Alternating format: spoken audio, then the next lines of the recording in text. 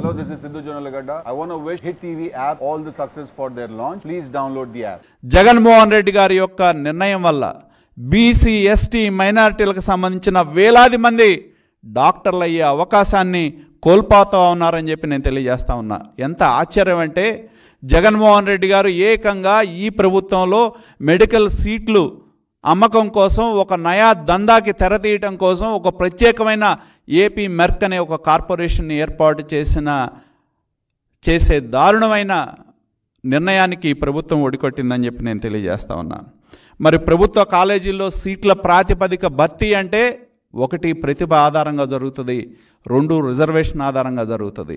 కానీ ఇవాళ జగన్మోహన్ రెడ్డి గారి నిర్ణయం తీసుకోవటం వలన ఈ వర్గాల ప్రజలు యాభై శాతం సీట్లని కోల్పోతా ఉన్నారని చెప్పి కూడా నేను తెలియజేస్తా ఉన్నా.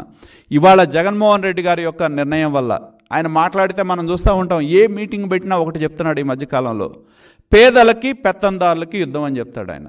నేను అడుగుతా ఉన్నా అయ్యా మీరు ఇవాళ ఏదైతే దళితులకో బీసీలకో మైనార్టీలకో దక్కాల్సిన యాభై శాతం సీట్లని ప్రత్యేకించి మేనేజ్మెంట్ కోటానో లేకపోతే బి కేటగిరీ సీట్ల కింద కేటాయించడం వల్ల నష్టపోతుంది బీసీ ఎస్టీ మైనారిటీ విద్యార్థులు కాదా అని నేను అడుగుతా ఉన్నా.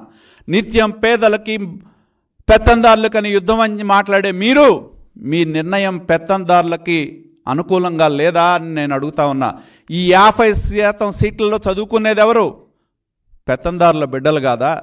మీరు ఆ మీ యొక్క నిర్ణయాలు పెత్తందారులకి అనుకూలంగా ఉన్నాయి. మీకు ఆ మాటలు మాట్లాడే నైతికత మీకు ఎక్కడని చెప్పి ఎక్కడదని చెప్పి కూడా నేను తెలియజేస్తా ఉన్నా.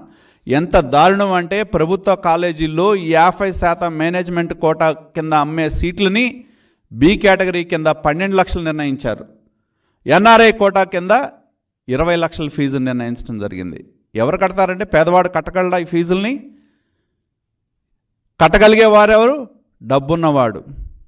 క్రీమీ లేయర్లో ఉన్నాడు తప్పితే పేదవాడు ప్రతిభ ఉన్నాడు ఇవాళ ప్రభుత్వ మెడికల్ కాలేజీలో మీరు నిర్ధారించిన డబ్బులు కట్టే తాహతో ఒక పేదవాడికి ఉందా అని చెప్పి నేను ప్రశ్నిస్తా ఉన్నా. దేశంలో ఎక్కడా లేదు.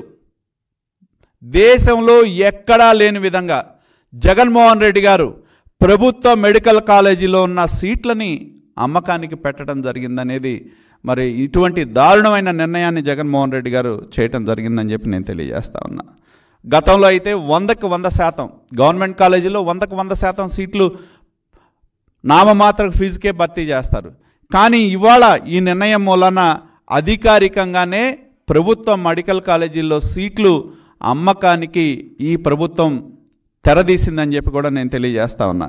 చాలా ఆశ్చర్యం కలుగుతుంది ఎందుకంటే ఈ మధ్యన నేను ఎక్కడో చూసా ప్రభుత్వం మరి నేషనల్ మెడికల్ కమిషన్ రాష్ట్ర ప్రభుత్వానికి సంబంధించిన మెడికల్ కాలేజీల్లో ఒక్కొక్క కాలేజీకి నూట యాభై సీట్ల దాకా పర్మిషన్ ఇచ్చినట్టు నేను చూశాను మరి వాళ్ళ దీనికి ఆ ప్రభుత్వం యొక్క నివేదికల ప్రకారం ఐదు కాలేజీలు కనుక ప్రారంభిస్తే ఏడు వందల యాభై సీట్లు వస్తాయి. ఈ ఏడు వందల యాభై సీట్లలో మూడు వందల డెబ్భై ఐదు సీట్లు బి కేటగిరీ కిందో ఎన్ఆర్ఐ కేటగిరీకి వెళ్తే మరో అదనంగా ఉండే పదిహేను శాతం సీట్లు నేషనల్ పూల్కి వెళ్తే మరి ఎస్సీ ఎస్టీ మైనారిటీ బీసీలకు తగ్గే దక్కే సీట్లు ఎన్నని చెప్పి నేను అడుగుతా ఉన్నా.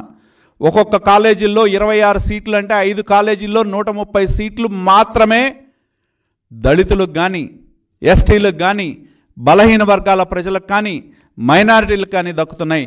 మూడు వందల ఇరవై ఐదు సీట్లు దక్కాల్సిన చోట నూట ఇరవై ఐదు సీట్లు మాత్రమే జగన్మోహన్ రెడ్డి గారికి యొక్క నిర్ణయం వల్ల వస్తా ఉన్నాయి దాదాపు రెండు వందలకు పైగా సీట్లు ఆ వర్గాల ప్రజలు నష్టపోతున్న మాట వాస్తవమా కాదా అని నేను అడుగుతా ఉన్నాను అదేవిధంగా మనం చూస్తే దాదాపు మరి ఎవరైతే ఆర్థికంగా వెనకబడిన వాళ్ళు మెరిట్ ప్రాతిపదికన ఉండే వాళ్ళకి ఇంకో మూడు వందల సీట్లు వస్తాయి మరి అవి కూడా అమ్మకంకి పెట్టడం మూలన ఆ విధంగా ఇంకొక రెండు వందల యాభై సీట్లు ఈ ఐదు కాలేజీల్లో మెరిట్ కలిగిన విద్యార్థులు పోగొట్టుకునే పరిస్థితి వచ్చిందని చెప్పి నేను తెలియజేస్తా ఉన్నా Hit TV app all the success for their launch.